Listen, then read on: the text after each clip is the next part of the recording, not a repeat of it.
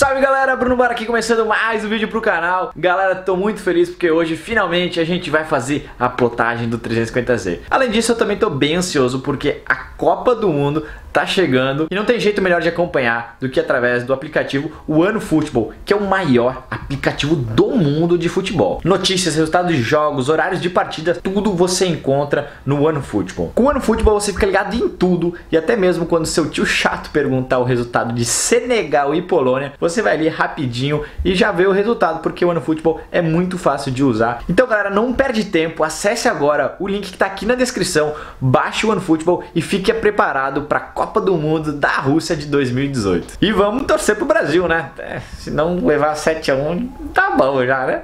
Agora, pessoal, mais ansioso que para a Copa do Mundo, eu acredito que muita gente está aí também para ver o resultado da plotagem do 350Z, né? Eu tô muito agoniado para ver esse carro finalmente ganhando forma. Demorou demais, mas no vídeo de hoje, pessoal, eu vou mostrar para vocês tudo, todo o processo de criação de um carro de drift, né, de um carro de corrida. Eu vou mostrar para vocês o processo do computador, até o final. No vídeo de hoje, o carro não vai ficar 100% pronto, mas vocês vão ver muita coisa e já vão ter noção de como que o carro vai ficar. Então deixem de ser agoniados, né? não arrasta o vídeo lá pra frente para ver logo como é que ficou o resultado final, porque eu vou mostrar em partes como que ficou o carro, né? como tá ficando o carro durante todo esse vídeo, beleza? Então vamos começar mostrando para vocês como que eu desenvolvi, como que eu criei toda essa plotagem do carro. Primeiro vamos tirar esse negócio da cabeça, que é meio apertado aqui. Muita gente reclamou, né, que demorou bastante para fazer a plotagem 350Z. O processo de criação ele é muito demorado. E eu fiz 100% de toda a arte que eu vou mostrar para vocês agora. Ou seja, ninguém me ajudou. E quem trabalha com arte sabe que não é uma coisa que dá, né, chega ali à noite, às vezes, ah, vou fazer uma meia horinha, vou criar meia horinha. Não é bem assim. Precisa ter bastante concentração, tá bem calmo para conseguir criar uma coisa legal. Então essa é uma das razões porque demorou bastante. Eu fiquei muito em dúvida, principalmente a cor principal do carro. A primeira vez que eu fiz a votação, o pessoal tinha escolhido a cor cinza e tal, mas eu acho que o que aconteceu que muita gente votou nas duas e talvez uma foto foi mais visualizada que a outra. Não, não sei se valeu muito. Então eu fiz uma enquete e aí o pessoal realmente votou cor colorida, né, no azul. Naquela votação nem tinha rosa ainda. Eu fui adicionando, fui criando, né, aprimorando, porque aquela lá era só uma, um esboço assim do projeto. E eu adicionei rosa, adicionei várias outras cores e vários outros detalhes para chegar no que hoje é a arte que, né, vai ser plotada no carro. Então, galera, vou mostrar para vocês como é que foi esse processo de criação. Aqui vocês estão vendo é a plotagem do ano passado, né? Eu utilizo o programa Illustrator, né, que é tipo o CorelDRAW assim da Adobe. Vocês consegue ver que são várias camadas, várias coisas assim que eu vou juntando, né? Ó, aqui é uma coisa, aqui é outra, são vários, vários layers assim que eu, eu fiz, sei lá, uma salada de fruta no passado.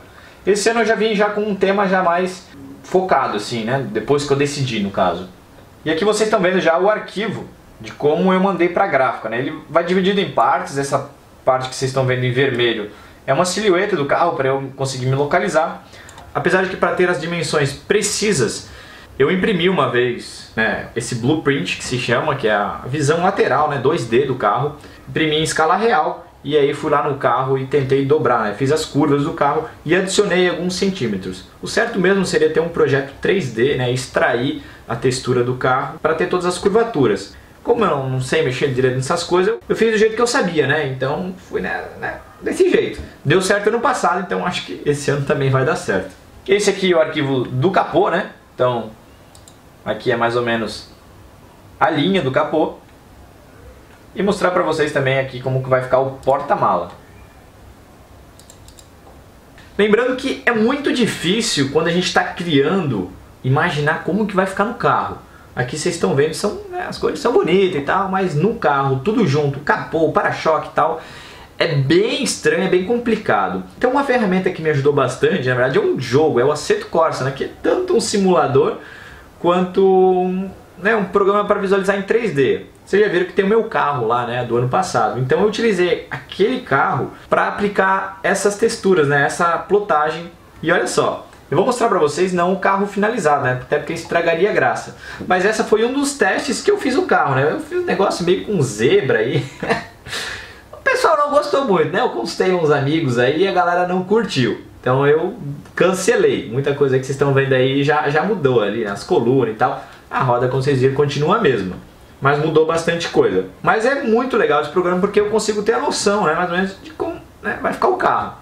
O arquivo que eu mandei para a gráfica é esse que vocês estão vendo aí, do carro sem os patrocinadores, né? E aí um arquivo separado que eu mando com os patrocinadores que a gente vai colar separado. Vou mostrar para vocês né, as camadas do carro para vocês entenderem por que, que demora esse processo. Essa é a base, né? O fundo dela, um azul degradê. E aí a gente vai adicionando alguns elementos. Esse negócio pixelado que foi de fundo. Aí a gente vai adicionando esse negócio, uma textura. Depois vem um, né, um contorno para realçar. Aí vem esse redemoinho de raios, que é uma inspiração clara do Ken Block. Aí tem mais um negócio de raio aí que faz a sobreposição. Temos aqui a transição para o fundo, que vai preenchendo. Mais um degradê de colmeia aqui, que vai puxando para o fundo até ficar o rosa. Dessa vez eu até nem usei tantos elementos como da vez passada, né? E galera, não se preocupem porque eu vou disponibilizar todo este arquivo, tudo que eu mandei para a gráfica, tudo que eu utilizei, eu vou disponibilizar para vocês em alta resolução, porque eu sei como vocês gostam né, de fazer esses carros no jogo e tudo mais. Então fiquem tranquilos, galera. Eu vou mandar tudo. Em breve vai estar no site selecionadinho. Vai ter também papel de parede, negócio para baixar no celular. Vai ter um monte de coisa para vocês utilizarem. E galera, agora é o seguinte, eu vou me arrumar que a gente vai partir lá para C4K para então iniciar os trabalhos de plotagem. Já está tudo impresso, tudo pronto, é só botar a mão na massa. Depois de todo o trabalho de criação de arte e impressão, finalmente chegou o dia da gente estar tá aplicando a plotagem no carro. Não é simplesmente chegar e colocar a plotagem, né? Vocês viram que tem todo um processo para desmontar todas as peças, né? Eu tirei todo o farol, todos os frisos e tudo mais. E agora a gente está fazendo uma limpeza final é para tirar qualquer sujeira, qualquer poeira para o vinil pegar bem na lata, né? E aproveitar para apresentar para vocês o Neto, da Ideia Comunicação Visual, que vai fazer a plotagem e aplicação do vinil aqui no carro. Meu Z tá depenado, pessoal. Não aguentava mais ver ele assim. Olha só como ele tá judiado. Estamos desenrolando agora o vinil. Seu para-choque dianteiro.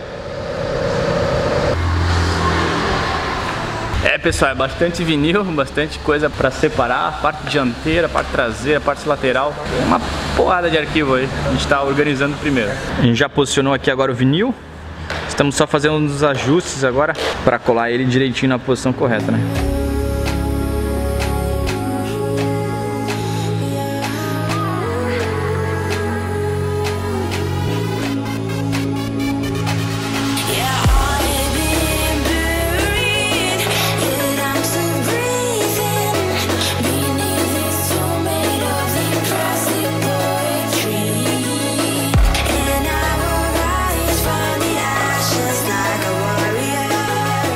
Finalizamos já a primeira parte do 350Z, né, a lateral direita dele. Agora a gente está começando a lateral esquerda. Uma coisa que eu vou começar a fazer agora é posicionar as logomarcas dos patrocinadores, que é, é uma parte bem divertida, assim, encaixar ele em cada lugarzinho no computador, né? Vocês viram, eu já fiz esse posicionamento, mas agora na vida real a gente tem que ver se vai encaixar legal também.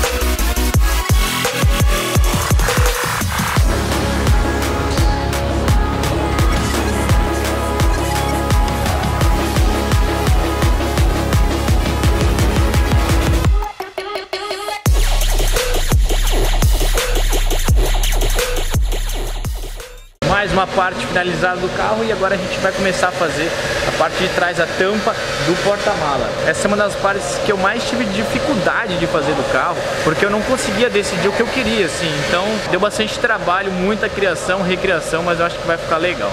Aí galera, o porta-mala rosa. É, eu sei que muita gente talvez vai estranhar, mas o resultado final vocês vão gostar.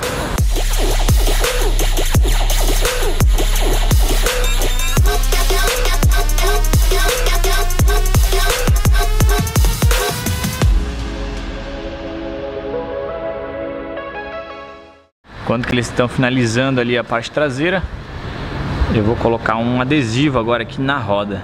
Esse tipo de adesivo se tornou obrigatório no regulamento da Fórmula Drift. É, agora todas as rodas, principalmente as traseiras, na verdade, né, elas precisam ter um tipo de adesivo que contraste com a cor do carro. Ou seja, no caso aqui minha roda é verde, então preciso colocar uma, um adesivo escuro. Isso para que os juízes consigam ver claramente quando o piloto ele freia, né, quando ele trava as rodas, quando ele puxa o freio de mão e tudo mais.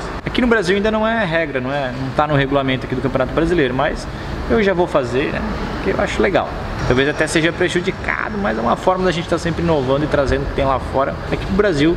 Tomara que os outros pilotos também entrem nessa onda de botar adesivozinhos em rodas e é bem legal. Quem Block já fazia isso desde lá do comecinho dos vídeos dele, já nos primeiros carros lá no Subaru e eu acho bem top.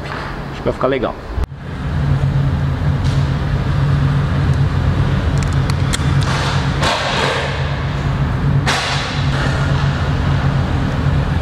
Que vocês acharam aí do adesivozinho. Pra quem não entendeu, tá escrito 56, né? Que é o meu número. Deixa nos comentários aí o que vocês acharam deste detalhezinho aí.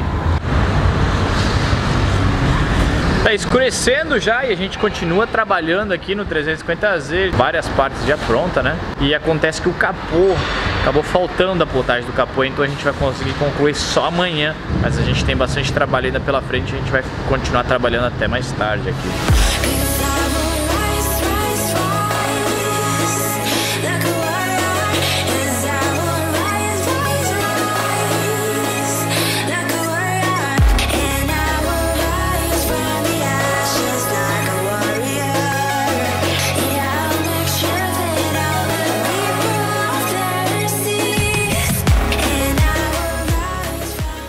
Plotagem já está quase finalizada, já plotamos todas as partes do carro, agora a gente só está finalizando os retrovisores e colocando as logomarcas dos patrocinadores nos seus devidos lugares. Depois disso, a gente tem mais uma coisa ainda a fazer, um pouquinho complicadinho. O vinil, como vocês podem ver aqui, ele é um vinil brilhoso, ou seja, um vinil padrão, né? Isso porque o vinil fosco ele é muito caro e ele não é muito bom de ser aplicado, porque ele é mais duro, então teria um pouco mais de dificuldade para contornar as curvas. Então o que a gente vai fazer agora? A gente fez toda a plotagem no vinil brilhoso e aí a gente vai passar passar o verniz para deixar o carro fosco, galera. É, o grande segredo desse carro é que ele vai ser fosco. Vai ser um diferencial bem bacana e eu espero que fique bom, porque tá tudo aqui na minha cabeça, ainda não sei se vai ficar legal. Então, vamos ver qual vai ser o resultado. A gente está agora colocando papel em tudo, estou isolando as janelas, o teto também, que vai ficar brilhoso, janelas laterais, o para-brisa, e aí a gente vai fazer a aplicação do verniz fosco.